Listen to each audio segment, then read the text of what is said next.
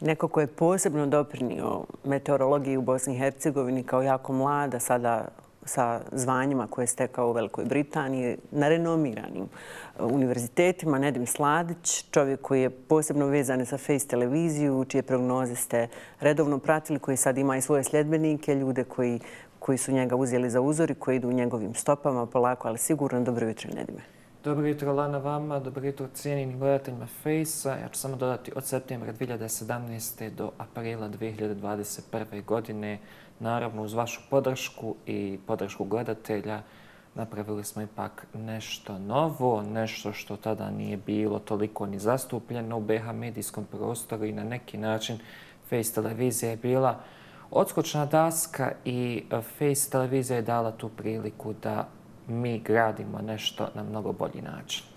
I ti si zaista neko ko je pionir u tome da navikneš ljude da prate analizu, prate statistike. Vrijeme je brzih informacija, to konzumerizma, svega što je brzo i što je instant. Ali ti si navikao ljude zaista da prate ono što je tvoja analiza, bez obzira na to koliko dugo to traje, zato što je to stručno, što je to autorsko i što je to tačno i pouzdano. Tako je, mi se nalazimo u tom dobu kada informacije kruže iz minuta u minut, bolje rečeno sekunde u sekundu i generalno gledano mi moramo selektovati informacije koje ćemo dijeliti sa ljudima. Tako isto kada govorimo o prognozama vremena, svaka rečenica se gleda u detalje i na neki način tu je opterećenje na nama. Naravno, u svemu tome želimo da damo što je preciznije moguću prognozu vremena, naravno koliko je to moguće sa strane nauke, ali postoji viša sila koja se određuje, tako da mi idemo u smjeru koliko mi možemo dati, jer prognoza nikad neće biti 100% tačna.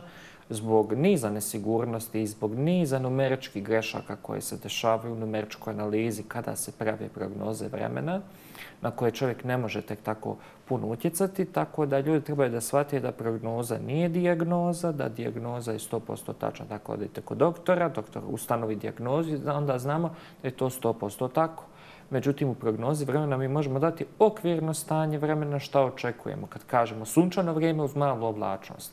E ta mala oblačnost može biti visokog reda, može biti srednjeg reda, može biti i u ovom slučaju oblačnost najčešće visokog reda, zato što ako bi stavili nisku oblačnost, onda bi ne bi bilo pretežno oblačno. Mhm. Tako da generalno godano moramo vidjeti kako ćemo filtrirati informacije pod broj 1, pod broj 2 koji ćemo vokabular koristiti s obzirom da postoji tehnička audijencija i postoji ona koja je malo manje opismenjena sa onim kvantitativne strane, sa onim kvantitativne strane. Pod broj 3 na koji način ćemo dočarati informaciju? Će to biti puno teksta ili će to biti neki vizual koji će ljudi moći pratiti?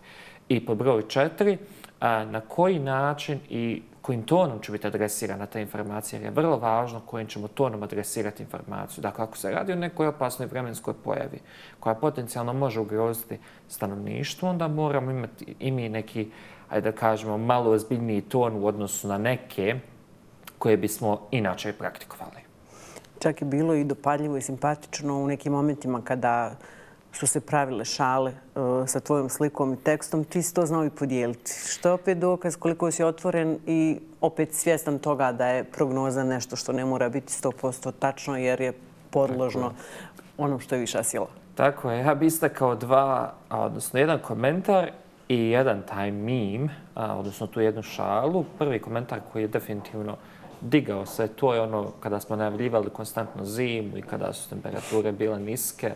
To je bio 2021. slučaj. A kada su ljudi rekli kao više ne možemo nadkupovati drva koliko ti možeš na zime, to pod broj jedan.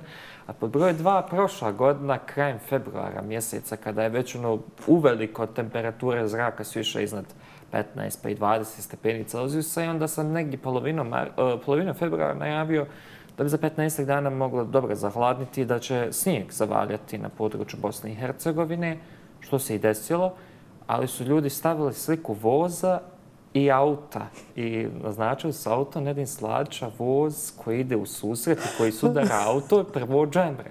Ili je drugo džemre, ne mogu se sad sjetiti koje je bilo po redu. I to je bilo trajalo jedan dan, ali ja sam stavio jedan, da kažemo, čiki komentar, onako malo ne mogu reći da je to hinski, ali onako malo niski komentar. Really? We shall see. Ono, vidjet ćemo. Mm -hmm. Just wait and see. I nije prošlo dan kako su svi počeli kasnije najavljivati kako će snijeg, onda su odjednom promijenili uh, suprotno džembre auto, a slačan voz. To mi je bilo toliko simpatično, toliko je smiješno. Ja sam tad bio jel, tamo, u Velikoj Britaniji. Ja sam to pogledao i ne znam da li je to bilo u unutar nastave ili van nastave. Prije čini se da je bilo van nastave, ali kada sam to vidio, stvarno sam se istinski nasmijao. Od bilo srca? Mi je, da, od srca. A i falio je bosansko-hercegovački humor. Pa nije Mada toliko. su slični humori. Pa jesu slični, znači, zato kažem nije toliko hvalio, zato što vama zaista ima dosta humora i tog sarkazma, tako -huh. da, ono, ljudi Kojim nađe se. Yes.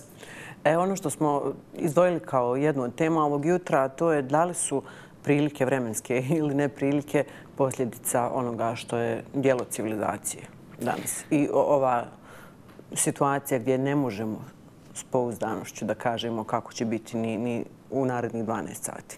Pa generalno gledano, prognoze vremena su sada poboljšane u odnosu na protekli 30 godina i možemo govoriti da smo značajno poboljšali kvalitet eh, zahvaljujući novim naprednim algoritmima i svim daljnim tehničkim dostignućima, ali treba istaknuti ipak da prognoza vremena koja ide preko 5 dana ima vjerovatnoću koja je manja od 60%. Dakle, u ova prva tri dana je do 90%, prvog dana ima najveću vjerovatnoću, naravno.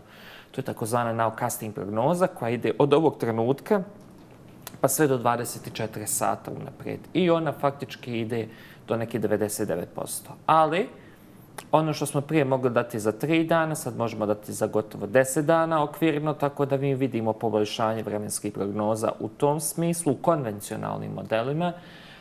Od 2023. A, značajno je došlo do porasta umjetne inteligencije i u oblasti meteorologije kao i mašinskog učenja, tako da su se pojavili novi modeli koji su isključivo bazirani a, na podacima, dakle podacima koji se unose u modele i koji se zapravo zasnivaju na mašinskom učenju da bi se došlo do prognoze vremena. Što je recimo pokazalo se isto tako ohrabrujuće, međutim ja sam još uvijek donekle skeptičan a, s obzirom da više vjerujem modelima koje imaju tu fizikalnu pa, parametrizaciju, odnosno podeš, podešavanje u smislu mikrofizičkih šema, dakle šeme koje se tiču i za oblake, i za zračenje i generalno sve one parametre koje recimo a, model koji je pokrenut vještačkom inteligencijom nema. Tako da a, dosta postoji prostora za danje unapređenje uh -huh. u, mhm. u smjeru meteorologije i to naravno raduje sve nas s obzirom na to da naši poslovi nisu ugroženi, barem ne još, kad je u pitanju umjetna inteligencija. Ali a, svakako da mogu postojati određene zloupotrebe.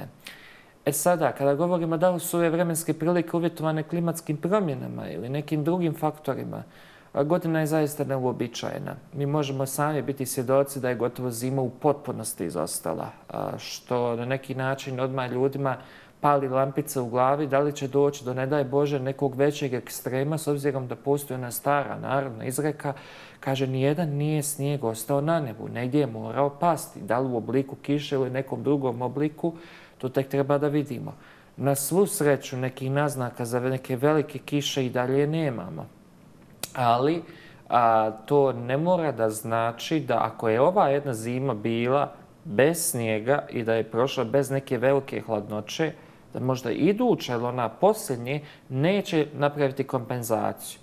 Ali ono što primjećujemo proteklih godina jeste da se povećava ta frekvencija učestalosti toplih ekstrema. Dakle, toplih zima i sve toplih ljeta. A, drugim riječima, mi možemo očekivati u budućnosti da imamo slične zime kao što je bila ova i prethodna i ona preklani, ali i ona 2021.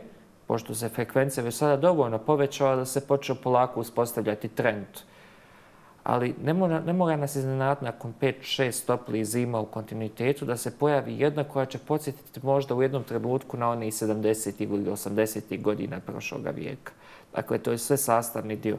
Ali kada uprosječimo 20 zima u kojima vidimo da imamo 6-7 u kontinuitetu, pa jednu hladnju popije 6-7 u kontinuitetu, 70% tih zima će biti toplije od prosjeka. Tek oni 20-30 u prosjeku ili ispod prosjeka. Zavisno dakle kako će priroda napraviti određenu ravnotežu. I tu dolazimo do podatka kada mi govorimo koliko zapravo je značaj klimatskih promjena u smislu povećanja frekvencije određenih e, podataka.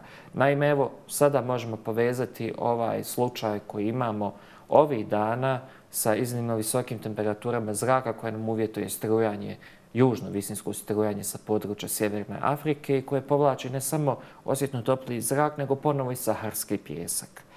E sad, saharski pjesak nije ništa novo u proljeće i on je posljedica pojačane te ciklonalne aktivnosti, odnosno polja niskog zračnog pritiska koje donosi padavine Mediteranu, ali u ovim situacijama sada polje niskog zračnog pritiska često zna biti spušteno niže s obzirom da se tropi zagrijavaju, dakle tropska područja se zagrijavaju, a ostaci hladnog zraka se spuštaju južnije. I generalno na razgraničenju između toplog i hladnjeg zraka postoji velika doza vrtložnosti koja doprinosi do toga da produbljuje tu mlazu struju, odnosno pokretače svih tih naših zračnih sistema i oni doprinose do toga da se razviju polja ciklone, odnosno na drugoj strane anticiklone kao protuteža.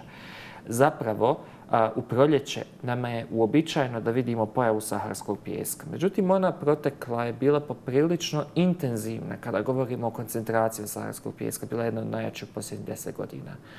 Ali trebamo istaknuti da svakako temperature zraka koje očekujemo ovog vikenda, to je od 23 do 28 na sjeveroistoku zemlje, već lokalno danas je moguće blizu 30 stepeni Celzijusa, nije uobičajeno s obzirom da odstupamo za 10 do 12 stepeni u odnosu na određeni niz. E sad, ako zamislim između ova moja dva dlana, prozor u kojem temperature, normalna temperature zraka su od 10 do 17 stepeni, a prozor od 1991. do 2020.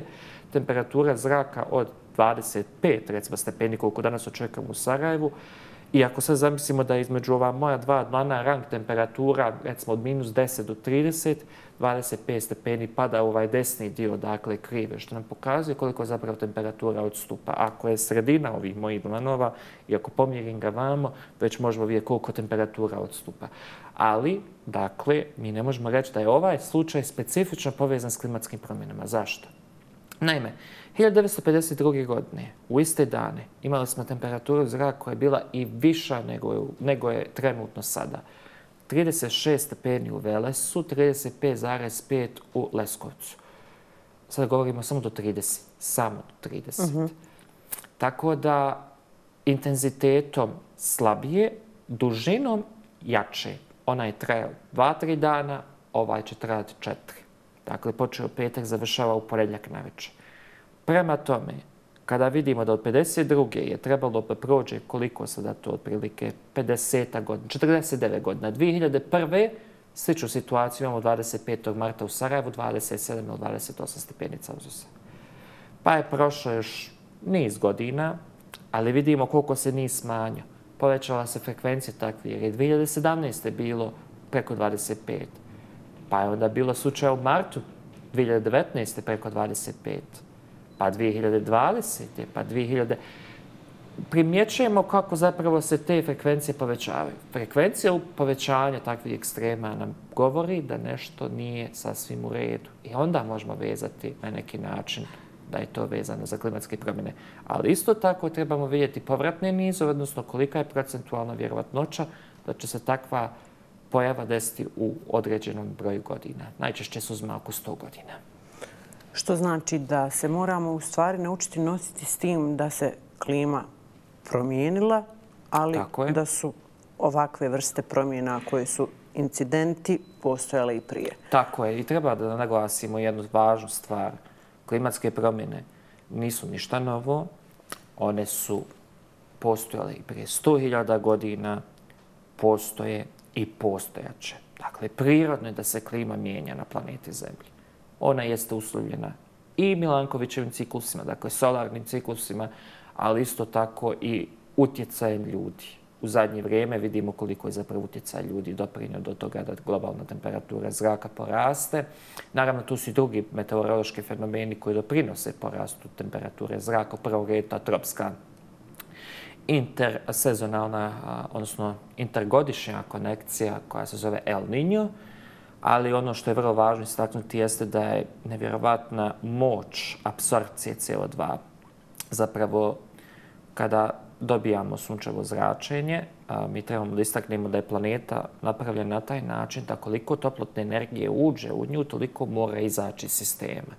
Međutim, da nama nije stakle... I ovdje malo ljudi ne mogu da naprave percepciju. Dakle, nama staklenički plinovi su potrebni. Da nije bilo stakleničkih gasova, a mi ne bismo imali ni biosfere, dakle ne bi imali kako treba ni normalne uslove života na zemlji, ne bilo vegetacije i temperatura na globalnom nivou bi bila manja za 33 stepene.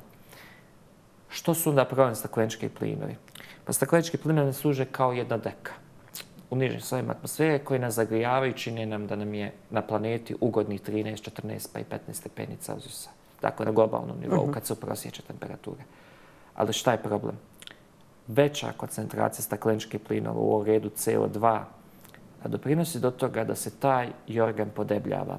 On emituje zračenje u IR spektru, dakle infracrvenom spektru, i ne dozvoljava da se da se on kasnije emituje u slobodnu atmosferu. Činijeći na taj način da se zadržava toplota u nižim slojima atmosfere i šta vi zapravo radite? Povećavanjem koncentracije CO2 vi doprinosite do toga da vam se taj organ podebljava u termojorgan. Jesmo li jučer imali taj organ? Nismo baš imali jučer, ali ono što možemo reći jeste da na neki način ta visoka prozirna naoblaka koja će i danas prolazno biti, a, može se ponašati da mi osjećamo kao da nas prigrijava. Mhm. Ali ona zapravo sprečava da sunce probija. Ali ako je visoka prozirna oblaka, a, to su kristaliće leda gore, jer su temperature oko minus 40, minus 50. Tako da to sunčevo zračenje kratkovalnim tokom može probiti.